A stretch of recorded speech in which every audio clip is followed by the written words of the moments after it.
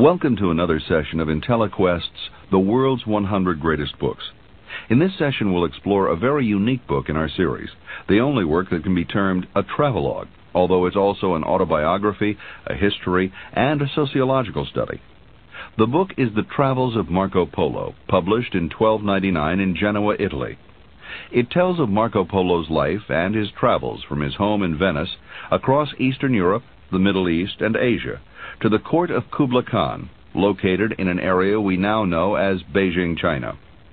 Marco Polo's book is generally considered nonfiction, although, as you'll see, the writer's imagination and tendencies to exaggerate make it a blend of both nonfiction and fiction. For 13th century readers who were unfamiliar with the places and people Polo described, it was difficult to discern fact from fantasy. But today, with our vast knowledge of history and geography, it's somewhat easier to tell when the author was striving more for effect than for accuracy.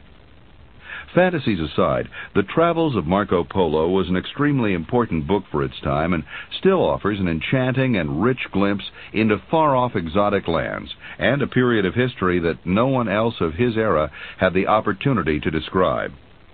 It also ushered in the age of exploration, inspiring many adventurers, including Christopher Columbus, to seek new worlds and to discover the new in the old.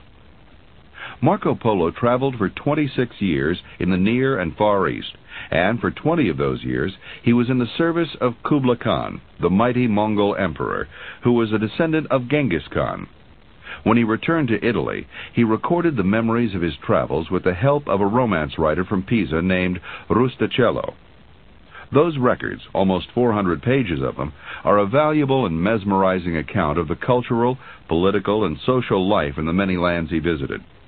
His vivid and detailed descriptions include dress and costumes, food, religious beliefs and rituals, marital customs, funeral rites, housing and architecture, monuments and shrines, transportation, trade and commerce, agriculture, plants and animals, geography and topography, government, class structure, and arts and crafts.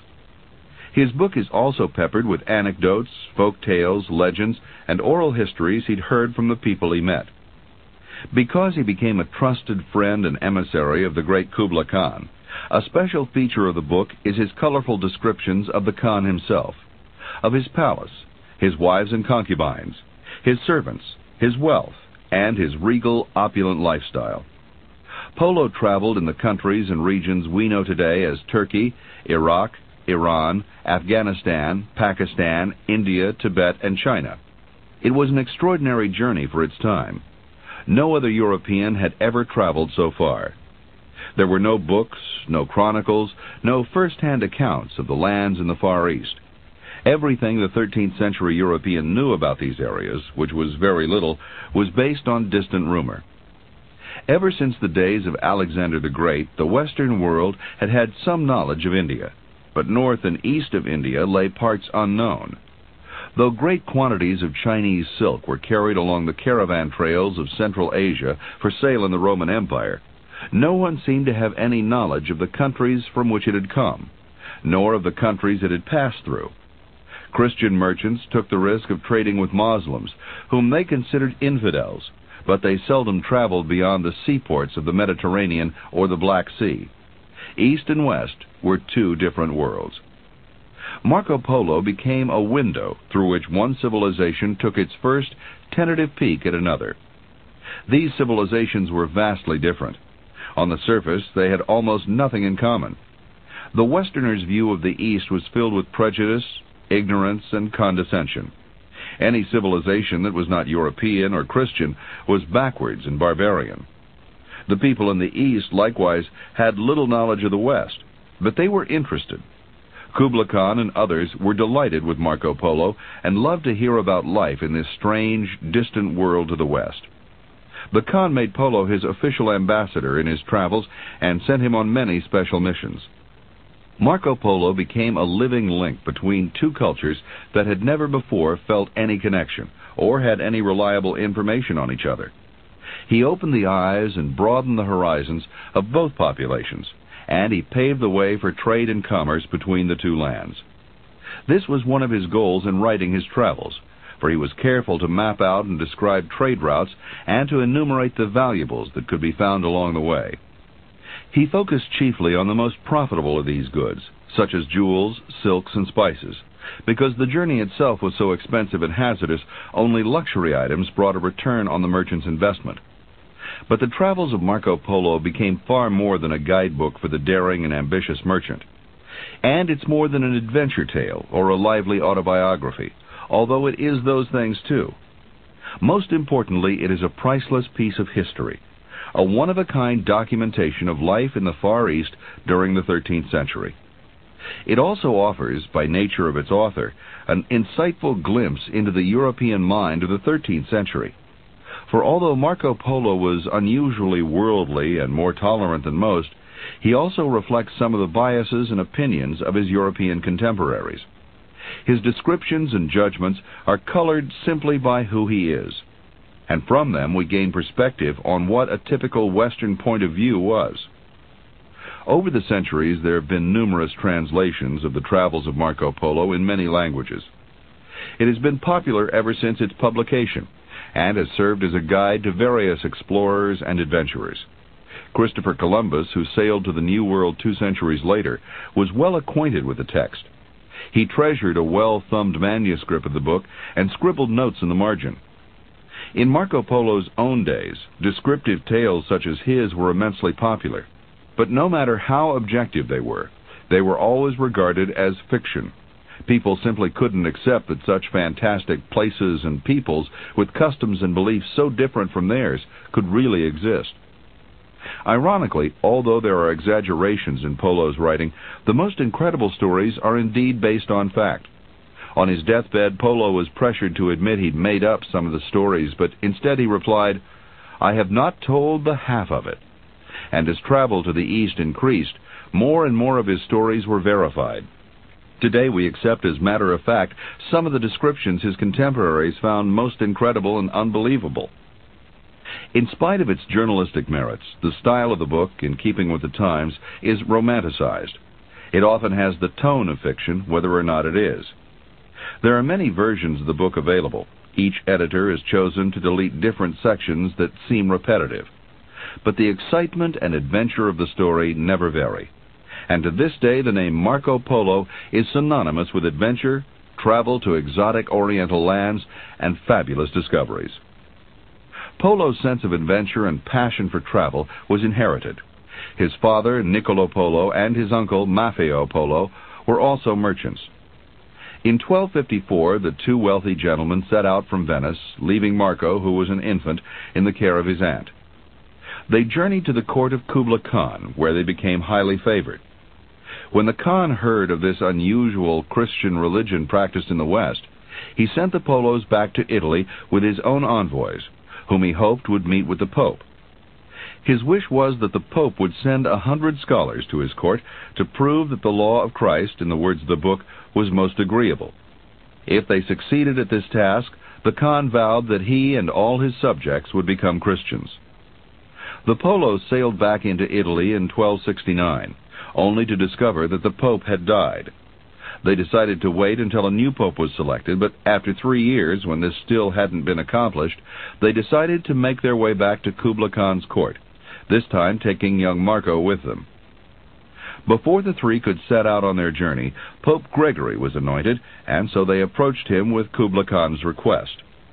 The new pope reluctantly agreed, but instead of 100 scholars, he sent only two priests to accompany them.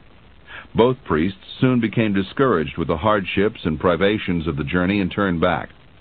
The three explorers, Marco Polo, his father Niccolo Polo, and his uncle Maffeo Polo, forged ahead.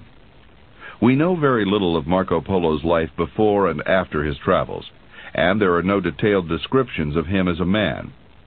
He was born in the year 1254 in Venice, two years before the beginning of the famous Hundred Years' War between Venice and Genoa. Marco Polo's involvement in this war would later result in his imprisonment, a lucky event as it turned out, because this is where he wrote his travels. Marco Polo's times were the times of St. Thomas Aquinas, of Dante, author of the Divine Comedy, and the great Persian poets Rumi and Hafiz. It was a period that saw the end of the Crusades, the founding of the Ottoman Empire, and intensification of the Inquisition, including the use of torture. Most importantly to Marco Polo, it was also the age of the Mongol conquerors. In 1206, 48 years before Polo was born, the Mongol tribes gathered at their holy place in the plain of Karakorum and elected a ruler, or Khan. Under his rule, they conquered the northern region of China, known as Cathay, and then decided to conquer the world. Within two generations, they succeeded in conquering almost the entire landmass of Eurasia, excluding only India, Arabia, Western Europe, and parts of Indochina. This stupendous empire was unequaled either before or since in terms of sheer size, and the entire eastern part of it was under the rule of the Khan and his successors.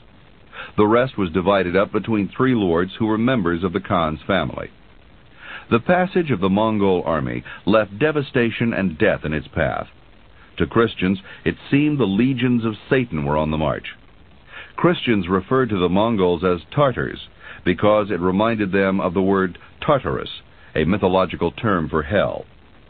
Still, Christians were not terribly upset because the only Christian victims of the Mongols were the Russians, who were rebel followers of the Greek Church.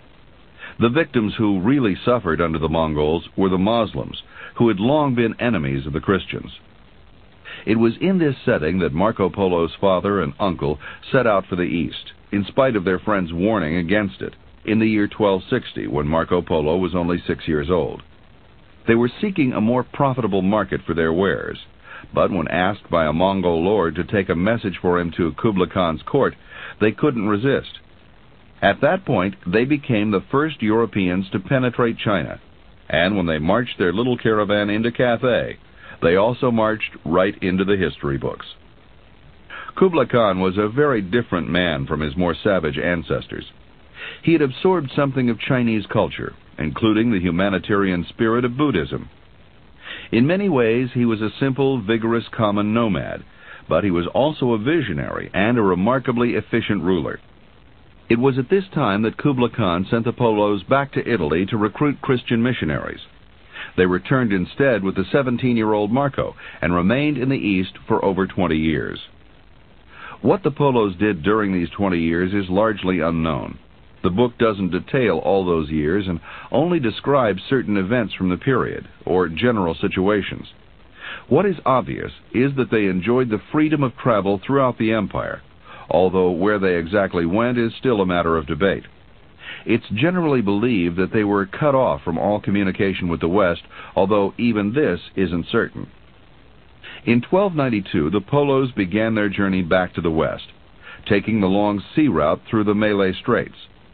After their arrival in Venice in 1295, there are almost no accounts of their lives.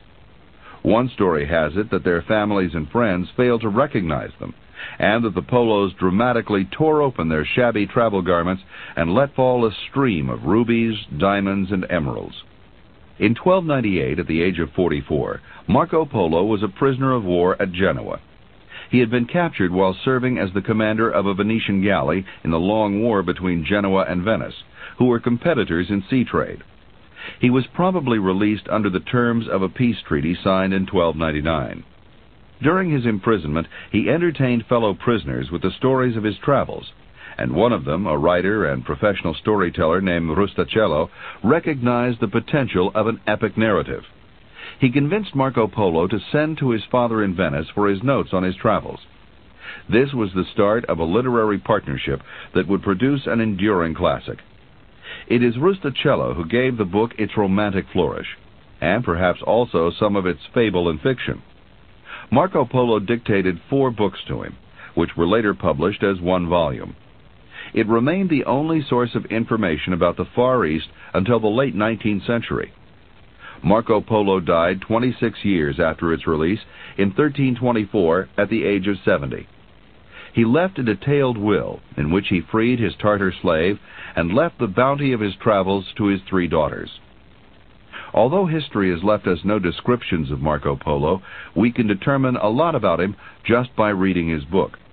Obviously, he had great enterprise, resourcefulness, stamina, and, fortunately for his readers, an amazingly retentive memory. He noticed things with the eyes of a practical merchant and traveler, which is why there are so many references to food and water along the routes, means of transport, and the marketable products in every district. He's true to his age in that he classifies people mainly on the basis of religion rather than race or culture. They are either Christians, Jews, Saracens, or idolaters. He's hostile towards Muslims, whom he refers to as worshippers of Mahomet, but he's more tolerant toward idolaters, who include basically Buddhists and Hindus. He had a special respect for their holy men, and even compared the Buddha to a Christian saint, quite a leap of faith for a man of his time. The outstanding feature of Marco Polo's book is its description of the people he encounters. He provides abundant and picturesque details of the Persians, Turks, Tartars, Chinese, Tibetans, and Indians, including all the particulars of their dress, physical features, customs, and mannerisms. He fully met the goal he set for himself in the introduction to his book when he, through the voice of co-writer Rustichello, said, Here you will find all the great wonders and curiosities of Greater Armenia and Persia, of the Tartars and of India, and of many other territories. For I would have you know that from the time when our Lord God formed Adam, there has been no man who has known or explored so many various parts of the world and of its great wonders as Marco Polo. For this reason he made up his mind that it would be a great pity if he did not have a written record made of all the things he had seen and had heard by true report, so that others who have not seen and do not know them may learn them from this book. Polo's claim that he had traveled more extensively than any man since the creation may be boastful, but it really is a statement of fact, or at least it's a fact as near as we can judge, since there are no other written records of anyone having traveled so far. When the book was first released, it was called A Description of the World, and although we know today that the world is much bigger than 13th century humankind imagined it, it's still a description of a surprisingly large part of that world from the Polar Sea to Java, from Zanzibar to Japan. Polo had no rival in the field of travel until two generations later, and some of the trails he blazed were not traveled again by a European for 600 years. Still others may have remained unexplored until the opening of the Burma Road in World War II. The task of mapping out Marco Polo's travels in detail has yet to be completed, and probably never will be since parts of his journeys are unaccounted for. The parts of the journey that are accounted for make up one of the most stirring and inspiring true life adventures in the history of literature. The first part of the book contains Polo's descriptions of his three and a half year journey to Kubla Khan's court. It's a fascinating narrative with vivid renditions not only of geography and traveling distances and conditions, but of specifics like food preparation and production, trade, religious practices, and customs and oral traditions among the many tribes and civilizations he encountered. He passes through the area we now know as Turkey and offers a description of what we call today Mount Ararat. In the heart of Greater Armenia is a very high mountain, shaped like a cube, on which Noah's Ark is said to have rested, whence it is called the Mountain of Noah's Ark. It is so broad and long that it takes more than two days to go around it. On the summit the snow lies so deep all the year round that no one can ever climb it. This snow never entirely melts, but new snow is forever falling on the old, so that the level rises. But on the lower slopes, thanks to the moisture that flows down from the melting snow, the herbage is so lush and luxuriant that in summer all the beasts from near and far resort here to batten on it, and yet the supply never fails. This flow of moisture also has the effect of making the hillsides very boggy. In some versions of the book, Marco Polo also says that the ark is actually visible as a black patch among the snow on the mount, although it cannot be seen at close quarters. The natives seldom mention it, but on being questioned they answer, it is said that the black patch is the ship of the world. Polo continues through the Middle East, providing descriptions of many villages and peoples along the way. He's particularly impressed by Baghdad and says, In Baghdad, which is a very large city, the Caliph of all the Saracens in the world has his seat, just as the head of all Christians in the world has his seat in Rome. Through the midst of the city flows a very large river, by which travelers may go to the Indian Sea. By this route merchants come and go with their merchandise. You should know that from Baghdad to the sea is a journey of fully 18 days. Merchants traveling to India follow this river to a city called Kais, where they enter the Indian Sea. On the river between Baghdad and Kais, there is a large city named Basra, and in groves all around Basra grow the best dates in the world. It is in Baghdad that most of the pearls are pierced that are imported from India into Christendom. Here, too, are woven many fabrics of cloth of gold and silk, very richly decorated with beasts and birds. It is a great center for the study of the law of Mohammed and of necromancy, natural science, astronomy, geomancy, and physiognomy. It is the largest and most splendid city in all these parts. In his description of Baghdad, Polo presents an Arab city that can easily rival the greatest cities of Europe. He points out its cultural, scientific, and commercial achievements, and of course recognizes its importance to the merchant, not only through its strategic location, but in the many exquisite wares to be found there. In the 13th century, Baghdad was an important crossroads and the religious spiritual center of the Muslim world. His reference to Muhammad is a reference to Mohammed. He refers to the prophet of Islam by the name Muhammad throughout the book. He also uses the term Saracens interchangeably with Muslims. Polo travels on and offers a description of another important Arab city, Tabriz, which he says is the most splendid city in a province called Iraq. Today, of course, Tabriz is in Iran. His description of Tabriz is notable, not just because it demonstrates his consistent awareness of merchandise and trade, but because it also reflects the Christian bias he carried with him while traveling through Islamic territories. The people of Tabriz live by trade and industry, for cloth of gold and silk is woven here in great quantity and of great value. The city is so favorably situated that it's a market for merchandise from India and Baghdad, from Mosul and Hormuz, and from many other places. And many Latin merchants come here to buy precious stones, which are found here in great abundance. It's a city where good profits are made by traveling merchants. The inhabitants are a mixed lot, and good for very little. There are Armenians and Nestorians, Jacobites and Georgians and Persians, and there are also worshippers of Mahomet, who are the natives of the city and are called Tabrizis. The city is entirely surrounded by attractive orchards full of excellent fruit. The Saracens of Tabriz are wicked and treacherous. The law which their prophet Muhammad has given them lays down that any harm they may do to one who does not accept their law, and any appropriation of goods, is no sin at all. And if they suffer death or injury at the hands of Christians, they are accounted martyrs. For this reason they would be wrongdoers, if it were not for the government and all the other Saracens in the world act on the same principle. When they are on the point of death, up comes their priest and asks whether they believe that Mohammed was the true messenger of God. If they answer yes, then he tells them they are saved. That is why they are converting the Tartars and many other nations to their law, because they are allowed great license to sin, and according to their law, no sin is forbidden. Throughout the book, Polo measures distance in terms of days of travel. A day's ride, or ten days' ride, or forty days' ride is the only means for measuring distance he had. But it was also more relevant to the merchants of the time, who rode from place to place and would have had little use for measurements in miles or kilometers. After several days, Polo reaches the Persian Gulf and stops at a city on the coast called Hormuz. He's mostly concerned about the torrid, hot, and unhealthy climate here, and tells a gruesome story to make his point. In summer the people do not stay in the cities, or they would all die of the heat, but they go out to their gardens, where there are rivers and sheets of water. It is a fact that several times in the summer there comes a wind from the direction of the sandy wastes that lie around this plain. A wind so overpoweringly hot that it would be deadly if it did not happen that as soon as men are aware of its approach, they plunge neck deep into the water and so escape its heat. To show just how hot this wind can be, here is an account of something that happened when Messer Marco was in these parts.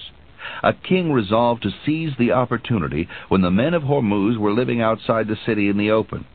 he mustered 1,600 horses and 5,000 foot soldiers, and sent them across the plain to make a surprise attack. One day, having failed through faulty guidance to reach the place appointed for the night's halt, they bivouacked in a wood not far from Hormuz. Next morning, when they were on the point of setting out, the hot wind came down on them and stifled them all, so that not one survived to carry back the news to their lord. The men of Hormuz, hearing of this, went out to bury the corpses, so they would not infect the air. When they gripped them by the arms to drag them to the graves, they were so parched by the tremendous heat that the arms came loose from the trunk, so that there was nothing for it but to dig the graves beside the corpses and heave them in. Polo often includes sensational stories like these in his narrative, and apparently afraid people wouldn't believe him, adds postscripts assuring the reader that what he says is true. He also reports superstitions, miracles, magic, and occult events, and beliefs, such as this story about a great desert he encountered in Turkestan. The truth is this. When a man is riding by night through this desert, and something happens to make him loiter and lose touch with his companions by dropping asleep or for some other reason, and afterwards he wants to rejoin them, then he hears spirits talking in such a way that they seem to be his companions. Sometimes, indeed, they even hail him by name. Often these voices make him stray from the path, so that he never finds it again, and in this way many travelers have been lost and have perished and sometimes in the night they are conscious of a noise like the clatter of a great cavalcade of riders away from the road. And believing that these are some of their own company, they go where they hear the noise, and when day breaks, find they are victims of an illusion, and in an awkward plight. And there are some who, in crossing this desert, have seen a host of men coming towards them, and, suspecting that they were robbers, have taken flight. So, having left the beaten track, and not knowing how to return to it, they have gone hopelessly astray. Yes, and even by daylight men hear these spirit voices. And often you fancy you are listening to the strains of many instruments, especially drums, and the clash of arms. For this reason bands of travelers make a point of keeping very close together. Before they go to sleep, they set up a sign pointing in the direction in which they have to travel and round the necks of all their beasts they fasten little bells, so that by listening to the sound they may prevent them from straying off the path. Polo proceeds on the road to Cathay towards the court of Kublai Khan, and takes this opportunity to talk about the historic lineage of Khan. Historians have found many errors in Polo's account of the rise and fall of Mongol rulers, but his descriptions of their customs are a treasury of information, previously unknown to the world and unknown to us today if not for his book. Here's part of his description of the funeral rituals when one of the Khans has died. You should know that all the great lords who are of the lineage of the Khan are conveyed for burial to a great mountain called Altai. When one of them dies, even if it be at a distance of a hundred days' journey from this mountain, he must be brought here for burial.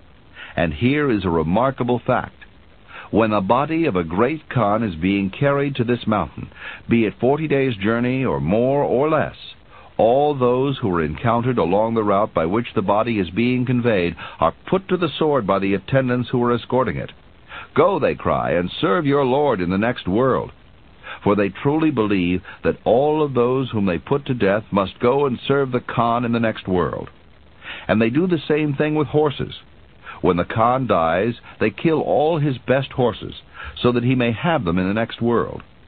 It is a fact that when Mongo Khan died, more than 20,000 men were put to death, having encountered his body on the way to burial.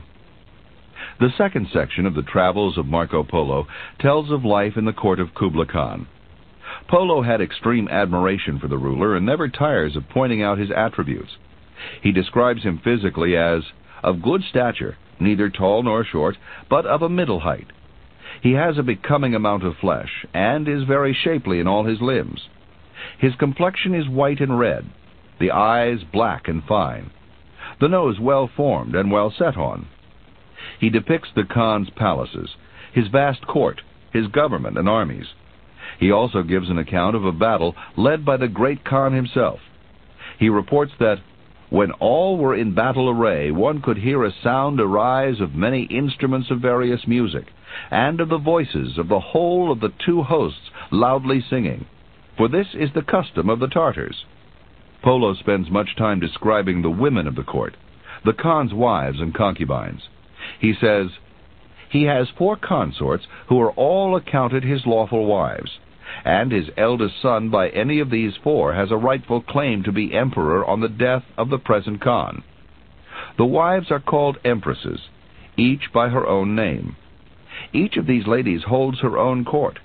None of them has less than three hundred ladies in waiting, all of great beauty and charm. They have many eunuchs and other men and women in attendance, so that each one of these ladies has in her court ten thousand persons. Polo then gives a detailed account of how concubines are chosen for the Khan. Every two years the Khan sends his emissaries into the provinces to bring back the most beautiful maidens. They are assessed further by noblewomen in the court when they arrive at the palace, and only the very best are chosen for the Khan. Polo makes a special point of saying that the men in the provinces don't resent the taking of their women, since it's an honor for a woman to be chosen to serve the Khan. This section also includes eloquent descriptions of court affairs, such as the marking of the calendar and the celebration of thousands of festivals and hunting trips. Record keeping was very important to the Chinese. Each household kept, near its front door, a list of the names of all the home's inhabitants, and innkeepers were required to record the names of all travelers and the dates of their visits. Certain chapters also tell about the marvelous inventions Marco saw while serving the Khan. These include the use of paper money, a system of express messengers, rather like the Pony Express, and efficient highway systems. Some of the remains of these can still be seen today. Polo is very amazed when he discovers an unfamiliar source of fuel, which we know by his description is coal. Let me tell you next of the stones that burn like logs. It is a fact that throughout the province of Cathay there is a sort of black stone, which is dug out of veins in the hillsides and burns like logs. These stones keep a fire burning better than wood. I assure you that if you put them on the fire in the evening and see that they are well alight, they will continue to burn all night, so that you will still find them glowing in the morning. They do not give off flames, except a little when they are first kindled, just as charcoal does. And once they have caught fire, they give out great heat. For all the fantastic inventions he stumbles upon, Polo gives credit to Kubla Khan, whom he sees as a man of wisdom and benevolence. One of the delights of the travels of Marco Polo is to see how the 13th century traveler describes and interprets things which are completely new to him, but which are very familiar to us today. His description of coal is one example. Here's another. This time a strange new animal he discovered on his way from Beijing to Bengal. In this province live huge serpents of such a size that no one could help being amazed even to hear of them. They are loathsome creatures to behold. Let me tell you just how big they are.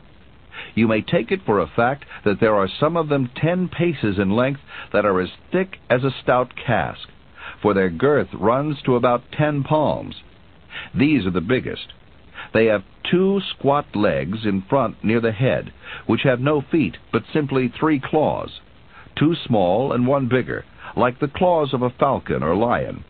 They have enormous heads and eyes so bulging that they are bigger than loaves. Their mouth is big enough to swallow a man at one gulp. Their teeth are huge. All in all, the monsters are of such inordinate bulk and ferocity that there is neither man nor beast but goes in fear of them. Here the explorer has obviously come across his first crocodile. At the end of this section of the book in the Khan's court, Marco Polo has become fluent in four different languages and is now a valuable ambassador for the emperor. He describes some of the different missions he sent on. In the next section of the book, Marco Polo recounts in detail the many travels he made on behalf of the Khan to places like Japan, Indochina, southern India, and what he calls the coast and islands of the Indian Sea, including Ethiopia. After 17 years at the court of the Khan, the wealthy Polos, surrounded by envious princes, decided that if they ever wanted to return to Venice, they would most easily do so under the protection and safety of the Khan. They resolved to go while the ruler, already an old man, was still alive. They asked his permission to return home, but at first he refused. The emperor enjoyed their company and services too much to let them go. After a time, however, he was persuaded to let them leave.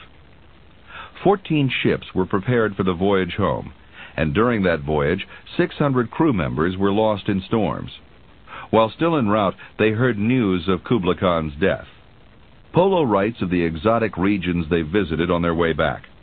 He talks of camel caravans gathered by fountains of oil, hauling off this strange black liquid, which is an amazing source of heat and light. He tells of the city of Mene, with its two great towers, one of silver, the other of pure gold. He describes the utopian Chinese city of Kinsai, with 12,000 bridges spanning its rivers and canals, its stone-paved streets, and its hundreds of beautiful carvings. He marvels over the magical Lak province, where people commonly live to the age of 150. He also describes strange characters and mystical tribes. A miserly ruler unwilling to provide for his kingdom's protection, who was captured and locked in a tower, where, surrounded by piles of gold, he starved to death. A diabolical band of robbers, which had the power to call down the powers of darkness upon the caravans they attacked. Tribes where fathers took care of newborn babies, while the mother was allowed to move freely about. An ancient drug dealer who used his trance-induced followers to commit murders. And various sorcerers and cannibals. He includes fantastic tales of natives who made their living by selling pickled monkeys, which they passed off as pygmies and sold to naive sailors as souvenirs. There are also stories of men with tails, and more believably, brutal pirates. On his way home, Marco Polo also ran into tribes who used gold, silver, pearls, diamonds, and rubies as common barter, and who wore rich silks and embroidery for work and play. He saw asbestos, musk scent, and salt, all used as money. He became acquainted with exotic spices, sugar, strange drugs, and pungent incense. He discovered bizarre animals, a bird with talons large enough to seize an elephant, chickens covered with hair, and unicorns, which, in his words, have hair like that of water buffalo and feet like those of an elephant, an ugly beast to behold. He was, in fact, describing his first rhinoceros. Polo devotes a long section of this book to his travels in India, where he found the customs and religious beliefs bizarre but fascinating. He undoubtedly shocked the people back home with his stories like the following. When a man is guilty of a capital offense and the king has decreed his death, the offender declares that he wishes to kill himself out of respect to some particular idol. The king expresses his approval then all the offender's kinsfolk and friends take him and set him on a chair, and give him fully a dozen swords, and carry him through the city, proclaiming aloud, This brave man is going to kill himself for love of such and such an idol.